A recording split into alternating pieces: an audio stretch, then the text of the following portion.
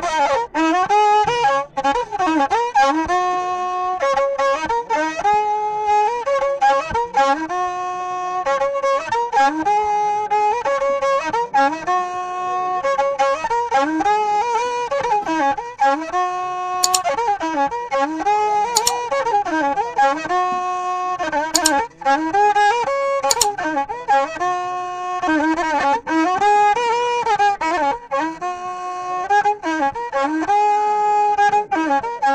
Sénégal Trimedia Comenco Méden Voilà, merci beaucoup.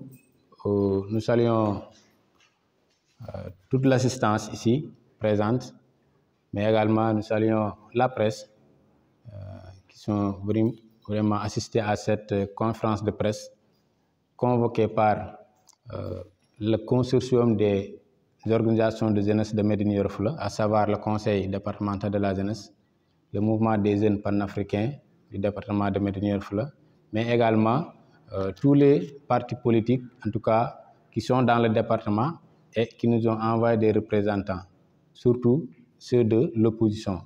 Mais également, il y a des acteurs de la société civile qui sont là avec nous dans cette conférence de presse. L'objectif de cette conférence de presse est très simple. Nous sommes des citoyens, euh, citoyens sénégalais. Nous vivons dans la région de Kolda, particulièrement dans le département de Médine Yoro Foulah. Et depuis deux, ou bien je peux dire depuis deux mandats ou bien dix ans, nous avons beaucoup de projets de l'État inachevés dans ce département.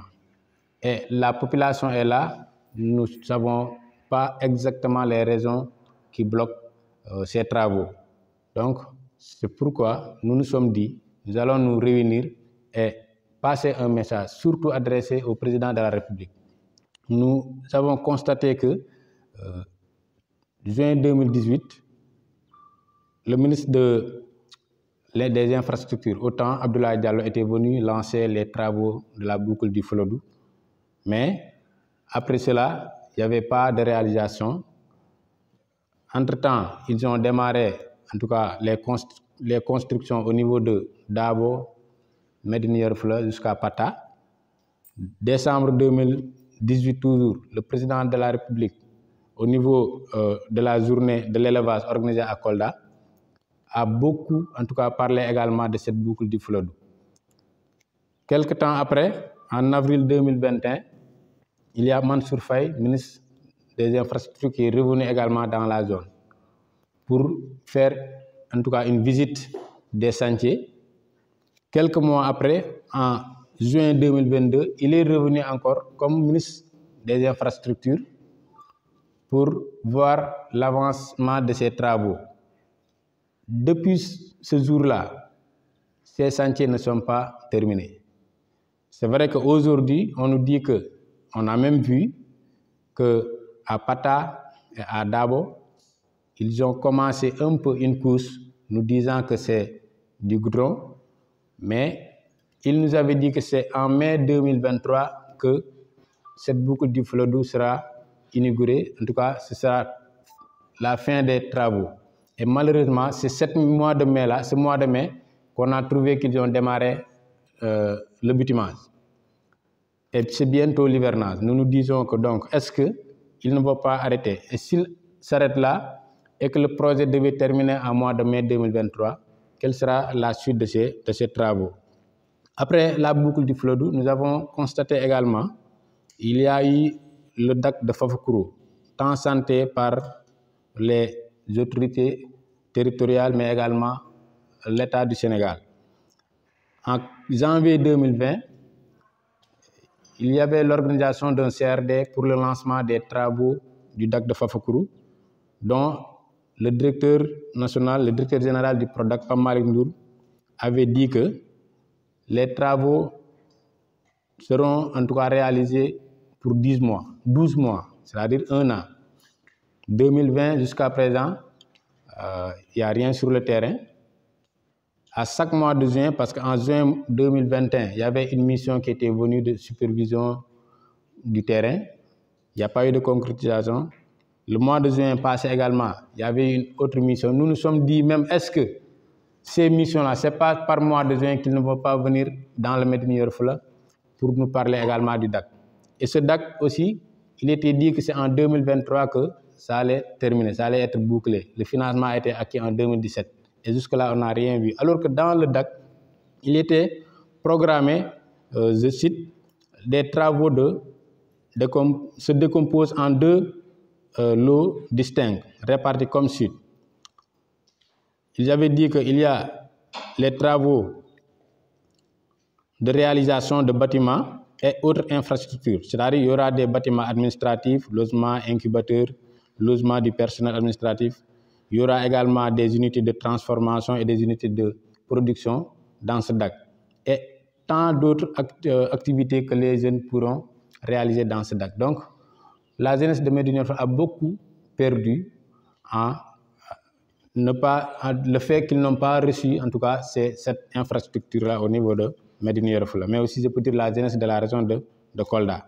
Donc, ce DAC également qui tarde à voir le jour, qui est un éléphant blanc, fait partie de ces sentiers non achevés.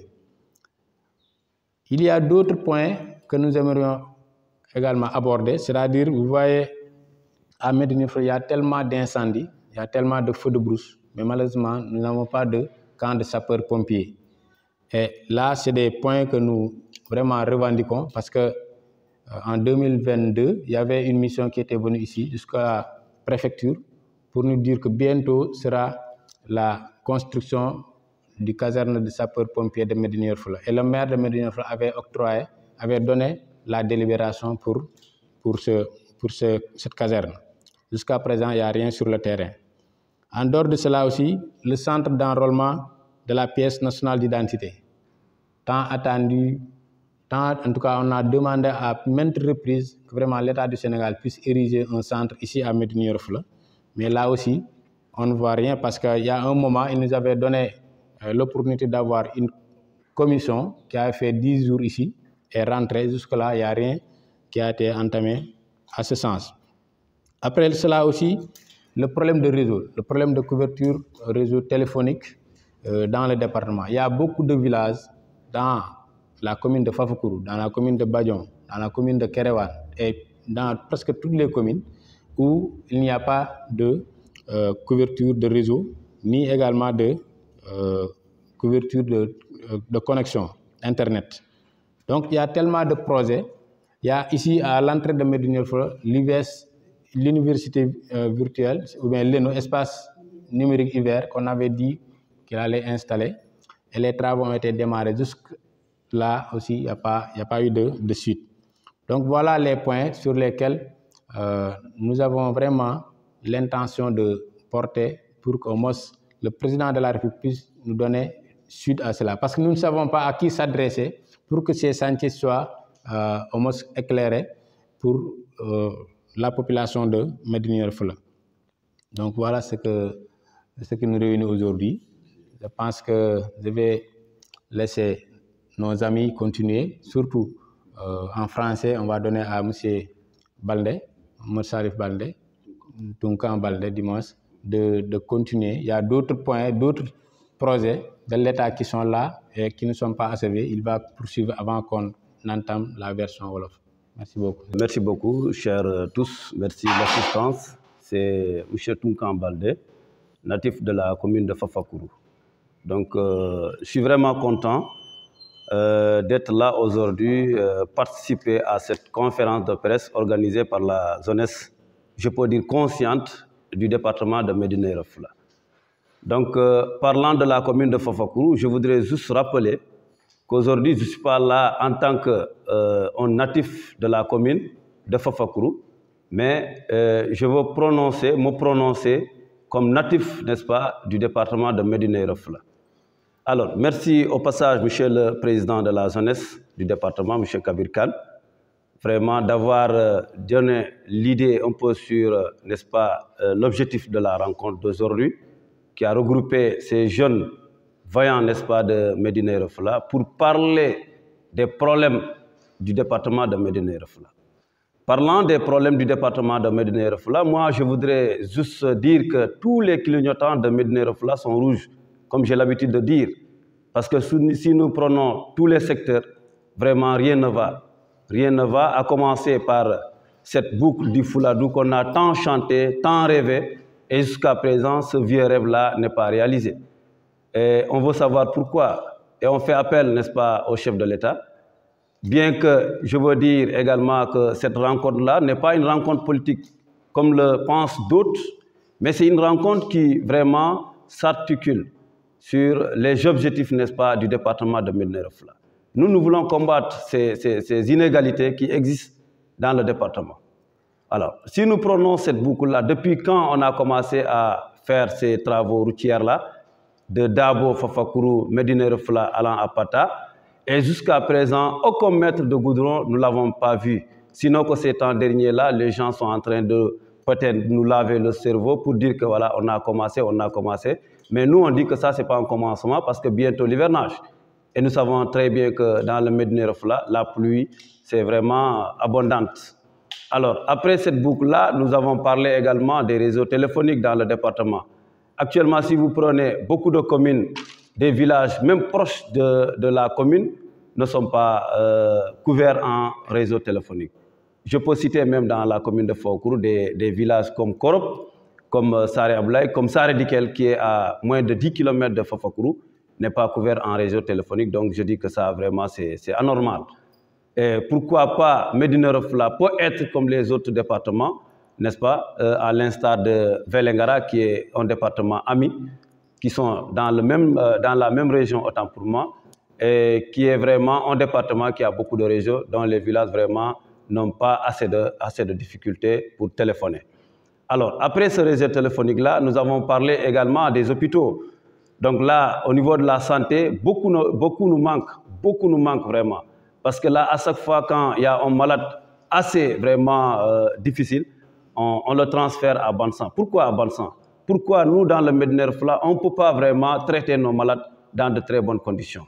Je ne peux pas comprendre qu'à chaque fois, malgré que Medina Refla est un département frontalier, mais quand même, je pense que vraiment, on doit nous amener vraiment le nécessaire pour vraiment prendre nos, nos, malades en charge pour ne pas vraiment qu'on les transfère euh, en Gambie. Alors, après, nous avons également jugé nécessaire de nous construire des hôpitaux de qualité, pourquoi pas, et d'avoir également des, des, infrastructures de qualité pour vraiment bien prendre nos malades en charge. Tout récemment, avant-hier seulement, il y a un enseignant qui est malade et doit subir une radio, on l'a transféré à Kolda. Pourquoi pas à Mednerfla Pourquoi on ne peut pas faire ces activités-là ici? Donc là, je dis que vraiment, c'est anormal et c'est ça que la jeunesse est là en train de vraiment de revendiquer pour que le Mednerfla soit vraiment euh, dans de très bonnes conditions.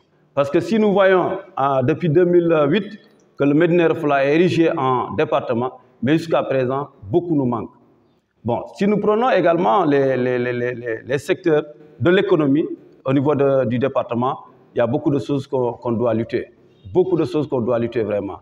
Et après cela également, je voudrais parler du, du courant de l'électrification. Si tout récemment, nous avons quitté le mois de Ramadan, et là, dans même Medina où il y a le courant, la glace euh, nouveau euh, 400 voire 500 francs. C'est anormal. Et au moment où d'autres communes je ne peux pas même dire d'autres communes. Toutes les communes du département n'ont pas de courant. C'est à Médina Refla seulement qu'on voit le courant continu, mais également un courant qui est, qui est vraiment faible, qui ne répond pas à ces, à ces normes. Donc là, vraiment, la jeunesse est là en train de revendiquer cela. Et rappeler également que cette rencontre-là, si deux qu'on pense que c'est une rencontre politique, pas une rencontre politique, mais une rencontre qui vraiment vise à revendiquer les, les causes du département de Refla. Bon, parlant des secteurs de, l'économie euh, au niveau du département, nous avons parlé de l'élevage, nous allons parler de l'agriculture, nous allons également parler de la pêche.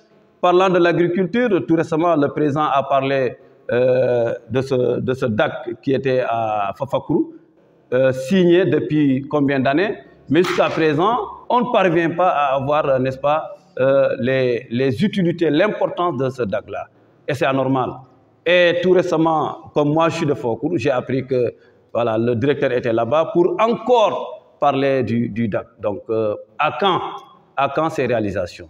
Donc là, vraiment, nous rappelons au président de la République de nous aider vraiment, de penser à Medina pensant que également, sachant que Midnerofla est dans des difficultés précaires, dans des difficultés précaires vraiment, et nous lui tendons la main pour nous soutenir vraiment sur euh, ces activités-là. Alors, euh, je voudrais terminer également pour euh, la pêche. Il y avait des moments où on avait parlé de pisciculture à Fafakuru. Mais jusqu'à présent, rien ne va. Rien ne va, rien n'est achevé.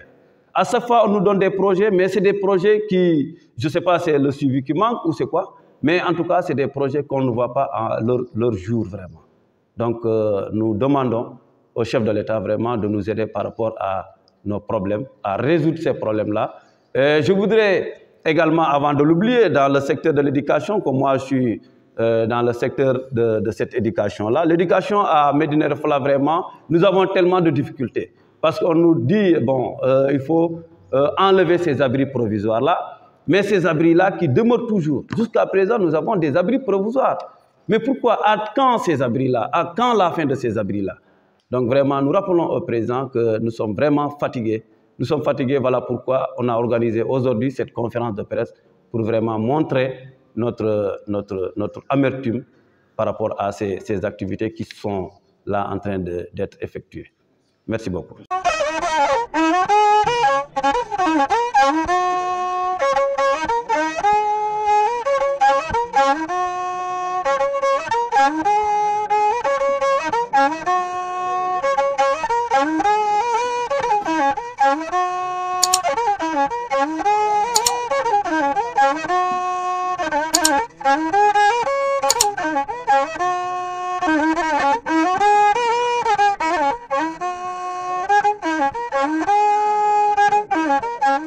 René Galt Media, Komenko, Medan.